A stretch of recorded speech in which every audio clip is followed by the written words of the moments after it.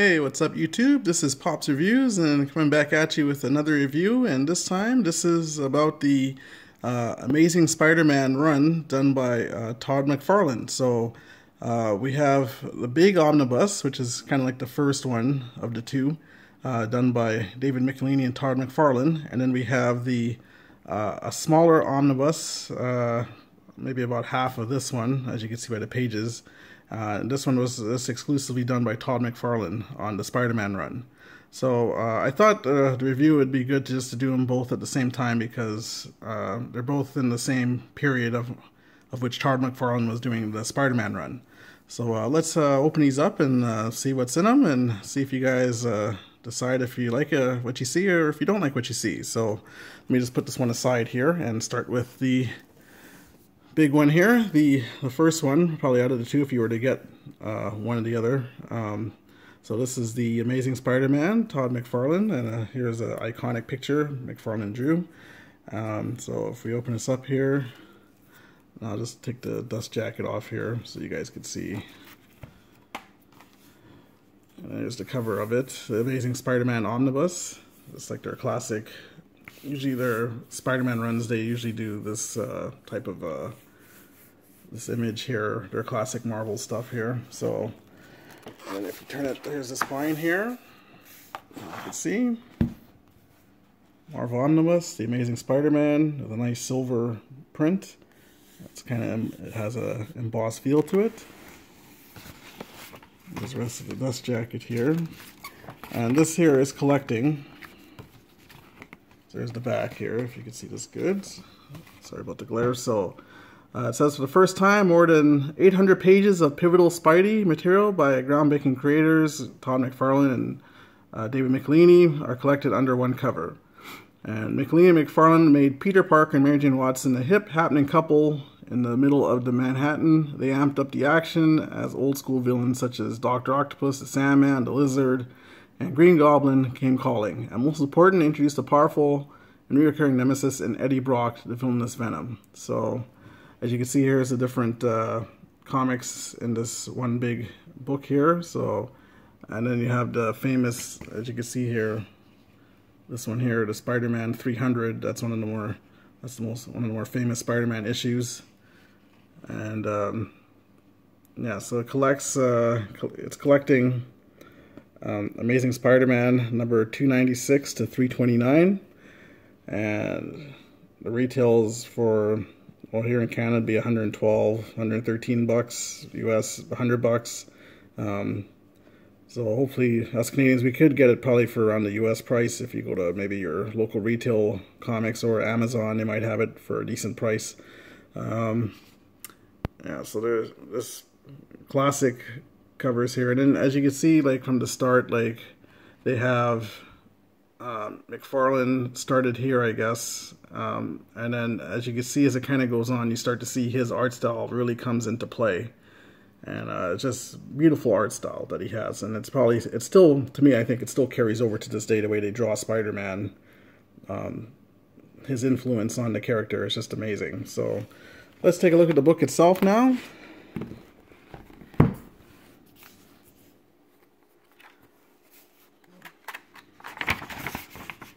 Spider-Man or Hobgoblin and the Green Goblin fighting it out with Spider-Man underneath there. We got a picture of Spidey. And you have your contents page, which is nice. So you see Amazing Spider-Man number 296, January 1988. And going to 1990. Yeah, so the last 806 pages. And Last one, Spectacular Spider-Man Annual number 10, 1990. Pale Reflection. So here's what I was talking about. Here's the the introduction. Let me try and get that all in there. Yep. Force of Arms. So you start off with Doc Arc, Doc Doc Ock, sorry, and uh, so yeah. So overall, this book, uh, you see a picture of Spider-Man with eyes, two dots in his eyes. That's always prefer him obviously with just the blank eyes and no dots in his eyes. But that's I think how they originally drew Spider-Man in the original Stan Lee stuff when he first started. And you still see Spider-Man with the um, black costume.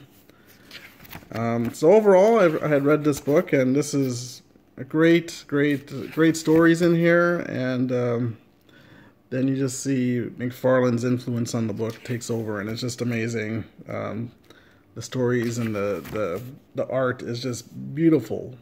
The way he draws characters is just amazing, and uh, I mean, for me, this is throwing me. This is a throwback to uh, my childhood and my teens of um, having these uh, comics here with Spider-Man and uh, yeah, these these were just amazing. These and his run was just totally totally made you want to buy the comics when I when I was a kid. There's the issue Spider-Man 300. So this is Venom's real official first appearance. You see Mary Jane scared from the previous because Venom had come to attack Peter Parker at their home. And uh, so she basically doesn't want Spider-Man to wear the black costume anymore eventually. And then you can see uh, you can see the way McFarlane draws Mary Jane just nice and sexy like, you know, for a comic. And so yeah, his influence on these characters is just it's just amazing. It'll always probably stand a test of time as far as comic art. And uh, here's another here's another tidbit. Uh, when I guess reading these issues, I guess he might he might have been a fan of, as you can see here, Felix the Cat. So he always, and, and each issue he always had kind of like Felix the Cat, some or the other, hiding. So um, you see the thing, the way he draws the thing here. Yeah, so this just beautifully done. Um, the stories are were nice and and uh, they kept they kept uh, it was it was you know a lot of action and good story and that so it's not a boring none of these are boring reads maybe the first maybe the first issues uh, there with Doc Ock was was all right but um, that wasn't bad or anything it was, you know so definitely definitely worth reading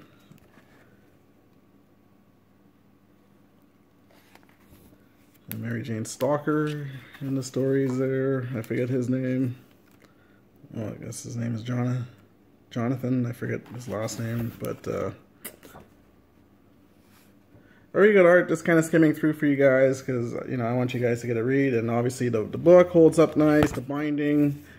Um, so yeah, it's very and like I said, the stories are very good. Like you're getting a lot of good story. Here's Taskmaster. Uh, a good shot at Taskmaster and other cover there. So yeah, very good stories. Nothing, I can't say nothing bad about this book. This book is just amazing. The art is amazing. And again, like I said, Todd, look at the way he draws Mysterio. I think he's one of the upcoming villains in the new Spider-Man movie coming out soon. Um, with Hydro Man. So yeah, just just a beautiful, beautiful stories, beautiful characters. The art is amazing. So I definitely, if you're a fan of McFarlane, this is definitely worth getting here. So just skimming through you guys, there's a picture of Hydro Man. So he's the other villain in the upcoming Spider-Man movie. And you see Venom. So yeah, so this is definitely worth a get. And like I said, I'm just kind of skimming through for you guys so you guys get the idea of what you're getting here. So so yeah, this is Amazing Spider-Man run here. So just give me a sec and I'll get to the, the other book here so you can have a look at um, the other omnibus by Todd McFarlane. Spider okay, so here is the other omnibus, the smaller one. Um, this was exclusively, I guess, just Todd McFarlane's stuff that he did, his own uh, writing and illustrations here on this Spider-Man run. And I think this was probably a, a last-ditch effort by Marvel to try and keep him under the wings uh, to give him a Spider-Man run of his own. But of course, he had other ideas in mind, going to Image and doing uh, Spawn. But um, yeah, so that, again, this is why probably this book isn't you know too big. He didn't do too much, and he probably he left right away, kind of deal. But he did do some work, and it's collected here in this book, and kind of a continuation lot to the other omnibus. So uh, definitely worth getting if you. Uh, have the first one and liked his art, this is definitely worth getting as well. Um, so as you can see here, Spider-Man, and then here's the back, and says Todd McFarlane Spider-Man number one changed the industry. Comic books would never be the same again. ComicsAlliance.com, and they weren't lying. The book that transformed comics. And uh, so as you can see here, says Todd McFarlane says Todd McFarlane had already changed the way the uh, the world looked at Spider-Man, and by launching a new title, writing and drawing the wall crawler, he tore up the rulebook once again. Now his entire best-selling Spider-Man series is collected in one stunning volume. So let's collect Spider-Man, uh, 1990, number 1 to 14 and 16, and X-Force, 1991, number 4. And it's written and illustrated by Todd McFarlane with Rob Liefeld and Fabian uh. So that's how you say his last name. And it goes for uh, 75 US, 95 Canadian, and probably probably pay about in the middle for it if you're Canadian. Um, probably and these these still I believe they still sell on Amazon. They haven't sold out and or anything like that. So you still get them for around a fair price. I know when they start to sell out, it's harder to get them. The price rate, the price starts to raise, and it's harder to collect them. But I think this one is still being sold at a reasonable price if you look for it. So as you can see, here's the different Spider-Man covers that are in here. Um, so yeah, the, the ones with the Spider-Man Wolverine ones were, if I remember, they were good stories, and the X-Force Spider-Man I really enjoyed as well. And uh, Spider-Man with the lizard is also a really good story. So let's open it up here. see what you're getting inside. So here's a nice special cover for the book here. Uh, Spider-Man, nicely illustrated by Todd McFarlane. Iconic picture. The dust jacket off. So yeah, as you can see here, got Spider-Man, it's full glory here, front and back, sublimated, so that's nice. And then, so we open up the book. Spider-Man by Todd McFarlane. Just give you all the introductions here, and then you have your table of contents. You have Spider-Man by Todd McFarlane, and then you have, uh, so his run, Torment, Spider-Man number one, August 1990. And this is uh, a 362 page book of Spider-Man with some extras at the back, I believe, as well. So here's the nice cover here. It has number one issue. Torment, part one of five. So I remember this was a good story when I read it. Um, the lizard, Spider-Man was kind of going insane and you had, you had this um, look at that picture of the lizard just just uh, a vicious uh, enemy of Spider-Man that he you know drew in that way. Because I you know the lizard is the lizard is a lizard. Sharp teeth uh, savage like you know? So and then look just look at the webbing and the art. Even this picture here of Peter Parker the muscles on him. So yeah Tom McFarlane he was just amazing uh, artist. And obviously he moved on to other things after this here but this was, these stories are really good. He did really a really good job on them. They still hold up to this day I believe. And you see the lizard here dark, dark menacing figure. And then you see the doom doom in the background. That was kind of like the drum going on in Spider-Man's head. And then so it represented the drum but also uh, a double meaning uh, you know the lizard being a menace you know. So Picture of Mary Jane. So this is a really, really, really good book. Uh, you know, it's short in pages, you know, 400 pages or whatever it is. But um, again, if you're a McFarlane fan and you really like Spider-Man and um, had the first one, this is definitely something to complete the two books. So yeah, very well done. I'm not I'm not going to go through all the pages here. I'm just giving you an idea of kind of what you're getting here with this book. But like I said, story rise, very very good. Hey, let's get to the Wolverine stuff here. Oh wow, look at look at Mary Jane here. I have a, I have a friend. He just loved the way McFarlane drew Mary Jane. he just he got a real kick out of it. You see Hobgoblin, Ghost Rider. So yeah, very, very good stories. Look at this Wolverine here that he drew.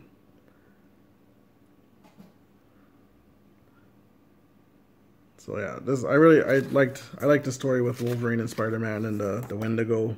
There's Wolverine in his yellow costume. It's a classic costume. So yeah, so def definitely, um, like I said, worth a buy. Uh, you see Wolverine with the Wendigo. So yeah, definitely worth a buy. I, I definitely recommend it if you're an Omnibus collector and you don't have this these two. Definitely worth a buy. And uh, yeah, great stories. The stories were not boring. Uh, especially I liked, I did like this one in the back here. Here's a picture of Cable. You see the Juggernaut. So yeah, that I remember really liking the X-Force Spider-Man team up here against the Juggernaut. It was a really, really good story. I thought I really liked it. A lot of action. And there's a lot, on the back you get some uh, extras by McFarlane. Extra pictures and stuff. So yeah, definitely worth a get, and um, can't say enough good things about this. And um, yeah, so like I said, and it's still still for sale if you ever wanted to buy it off Amazon. I think it still reasonably sells for a good, decent price. Um, maybe in the eighty dollar range, but.